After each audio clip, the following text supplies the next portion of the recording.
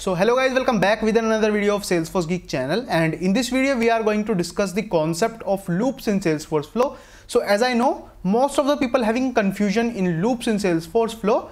So today I'm going to demystify the concept of loops so that you can understand loops in a better way. So in this video, I'm going to take a very quick example so that you can understand loops quickly and later on I am going to create one more video where I am going to use the loops to create multiple records in Salesforce.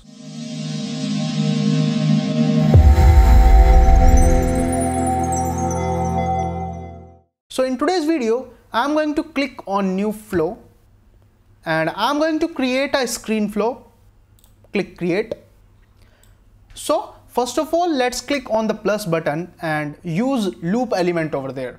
So if I select loop over there, here you can see first of all I need to provide a label to my loop element. After that API name will be automatically populated, right? And after that you will see select collection variable. If I select, so in my flow I didn't create any collection variable, right? So that's why it is not showing me anything.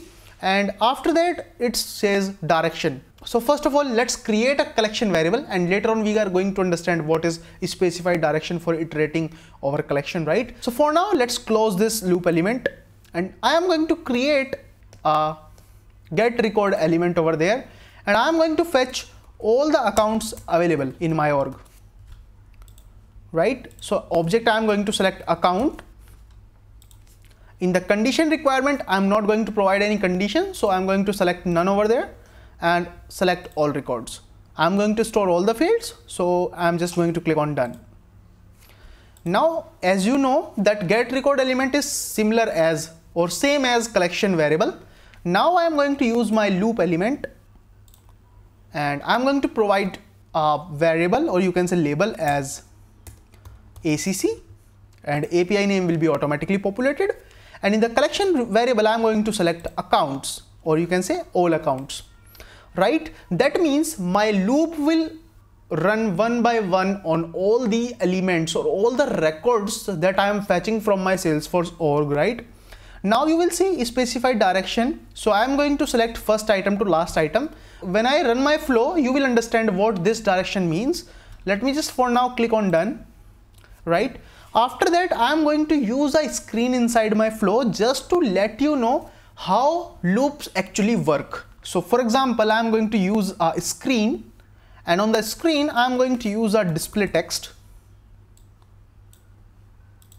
API name, let's say account name display or whatever you can write display account name something like that and in the body I'm going to write account name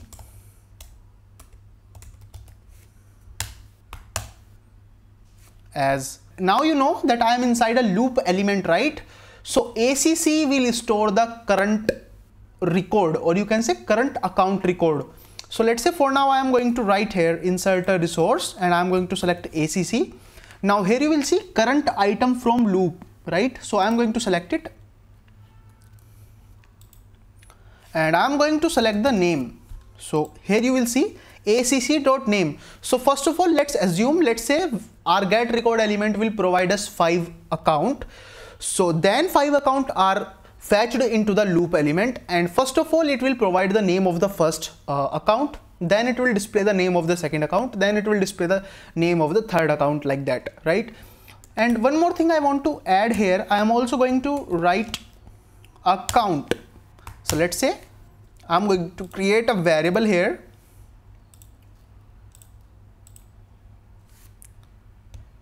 let's say count data type as number decimal value 0 and I'm also going to provide a default value to it 0 right? So to the first screen I'm going to click on done right? And in the screen label I'm going to provide display concept.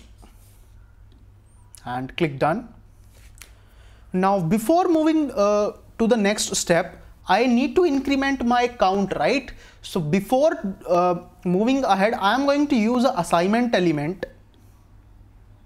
And type here increment count. Here I'm going to type count which is the variable. And in operator I'm going to select add.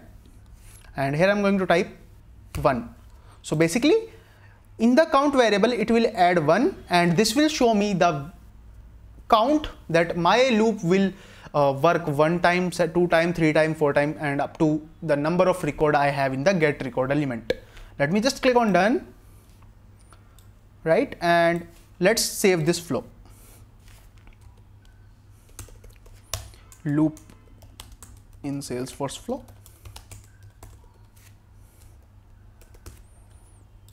So, this is just for the demo purpose. That's why I'm using this kind of name. If you are in a project or something, please use appropriate name because it's kind of a best practice to give give a good name to your flow so that uh, each and every person who are going to go through your flow can easily understand okay what is flow is going to do let's click on save and now let now let's try to debug so before click on run let me check what are the number of accounts i have in my org so simply going to use the salesforce inspector plugin to do that I'm going to simply make the query, select count ID from account and click on export. So here you can see I have 13 records available in my Salesforce org. So that means get record element will fetch 13 records, right? So let's move to the uh, debug process and let's click on run. So first of all, you can see account name is GenePoint and count value is one. Now I'm going to click on next. So now the flow will run twice and you can see United Oil and Gas UK count is 2 if I click on next here you will see count is also updated to 3 and the value of the account name is also changed to United Oil and Gas Singapore. Let me just click on next next next a couple of times because we have around 13 records right? So it probably the count value should be 13 at the end so here you can see account name is S-Force and count is 12. Now I am going to click on next one more time. Now here you can see sample account for entitlement and count is 13, right? So that means this is the end result of our uh, get record element when we use loop in our uh, flow, right? That means flow will fetch each and every record one by one in our uh, flow, right? So that's what our flow will do. You can even create records, right? Similarly, let's say uh, you need to create 13 record 13 task record to these account. What you can do use a create record element for that. But there are lot more concept which i need to let you understand. I will create a next video where you can uh, understand the concept okay why we are not using a create record element just inside the uh, loop element right? So that's a different topic. For now just uh, focus on this. And here you can see account name is sample account for entitlement count is 13 now i'm going to click on next. And here you can see the flow is completed right? So in the debug logs here you can also see when the count is 13 and loop is also ended. So that's how you can use loops in salesforce flow. And i hope you also learned the concept how loops actually work in salesforce right?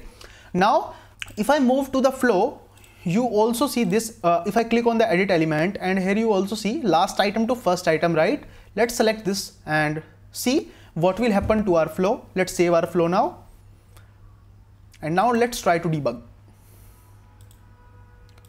so in the earlier case you will see sample of entitlement account is the last account in our uh, iteration but when I click on run you will see sample account for entitlement is the first account, right? Because we select end to first element. So that's the simple order we can change uh, from the loop element, right? So I hope you get the point.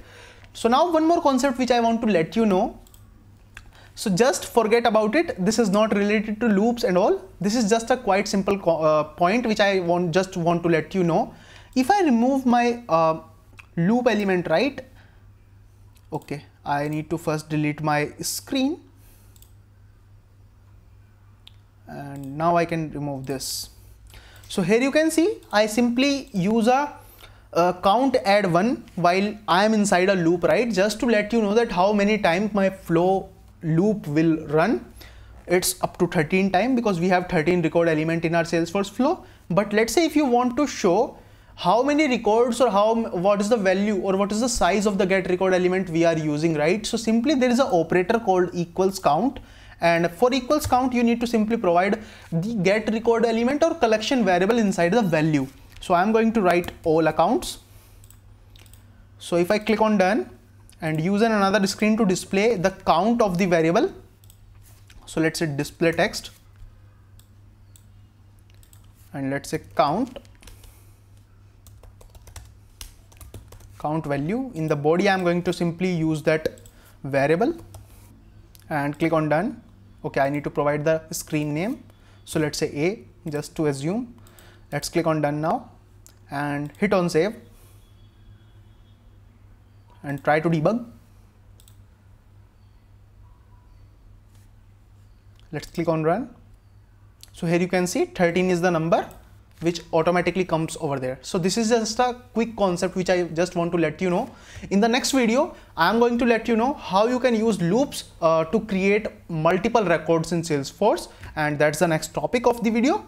So thank you so much if you're watching this video till now. I will see you in another video.